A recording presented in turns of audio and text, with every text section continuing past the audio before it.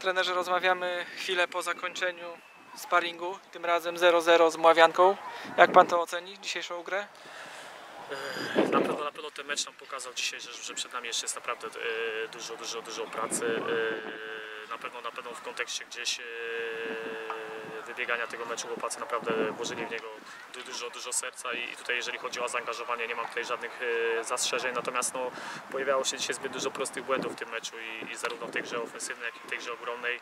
E, można, mo, mogę też tutaj usprawiedliwić troszeczkę, że, że ciężko pracowaliśmy te, te ostatnie 10 dni i to wynika też z tego, że zawodnicy pewnie, pewnie w pewnych momentach e, byli zdekoncentrowani, gdzieś, gdzieś nie, nie, nie, nie brakowało tej dokładności. Myślę, że to też wynika właśnie z tego, że, że e, ten okres ostatni był dosyć, dosyć ciężki, natomiast, natomiast to nie jest żadne usprawiedliwienie. E, Tak jak powiedziałem, no, my mamy jeszcze przed sobą dużo pracy. E, Myślę, że ten czas, kiedy tutaj żeśmy rotowali składem, gdzie wystawialiśmy różnorodne ustawienie już się zakończył. Najbliższe dwa sparingi już będą jakby takim czynnikiem, gdzie będziemy chcieli już wykrystalizować ten skład na, na pierwszy mecz punkty i, i te dwa tygodnie tak naprawdę musimy mocno przepracować i dobrze się przygotować, bo, bo, bo, bo tak jak już powiedziałem wcześniej, naprawdę jeszcze trochę jest dużo takich momentów w meczu, gdzie, gdzie, gdzie ta gra na nam się nie układa tak jakbyśmy chcieli i tak jakby to miało wyglądać e, przynajmniej z, moj, z mojego punktu widzenia. Zagrał pan dzisiaj w zasadzie dwoma różnymi jedenastkami. Jakby pan miał ocenić, która lepiej wypadła? Nie, nie chciał tutaj oceniać, e, która wypada. No, mieliśmy dzisiaj też zawodników, którzy tu chcieliśmy się znowu przyjrzeć. Było to czterech czy trzech, czterech zawodników, więc, więc e, raczej było to też pod kątem jeszcze tego, że, że gdzieś tam jeszcze chcieliśmy ten mecz poświęcić w kontekście przyjrzenia się i selekcji zawodników. E, Nie chciałbym tutaj porównywać, czy, czy lepsza pierwsza, czy druga połowa, bo myślę, że ogólnie ten mecz e, nie wygląda z naszej strony zbyt e, dobrze i, tutaj nie ma nawet co, co, co, co, co się gdzieś w jakiś sposób usprawiedliwiać. Tak jak powiedziałem, mamy przed sobą jeszcze dużo pracy.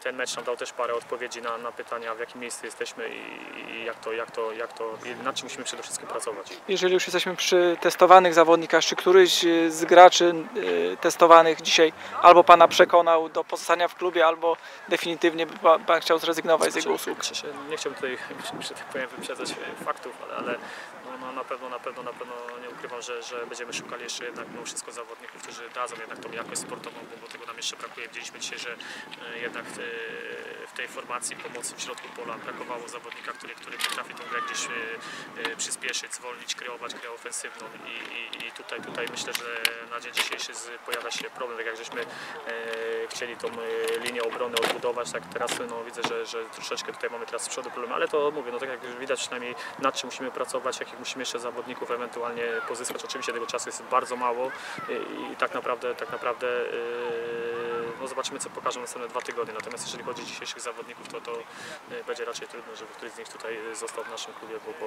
bo e, tak jak już wspominałem we wcześniejszych wywiadach, my poszukujemy zawodników, którzy będą zawodnikami lepszymi od obecnych zawodników kadry. Teraz w sobotę gramy sparring na wyjeździe znowu, z, tym razem w Brodnicy ze Spartą. Jak pan myśli, czy już wyjdzie pan, bo to jest już przedostatni sparring został nam, tak? Tak, tak, tak, tak. tak, tak. Jak pan myśli, już wyjdzie pan tą taką jedenastką zbliżoną do, do tej jedenastki, która wyjść w Tomaszowie? Tak, tak, tak. Na pewno już będziemy grali te dwa ostatnie sparingi pod kątem, e, pod kątem e, pierwszego meczu i też e, zarówno jeżeli chodzi o personalia, ale także jeżeli chodzi o założenia taktyczne, więc, więc no, no mówię, ten czas już był bardzo krótki, ten czas gdzieś tej selekcji, gdzieś tego wymiaru czasowego dla każdego zawodnika się zakończył i, i tak naprawdę teraz będziemy już wszystko starali się ukierunkować w, w kierunku tego pierwszego meczu i, i, i to będzie wszystko, już te dwa ostatnie sparingi będą przede wszystkim temu podporządkowane.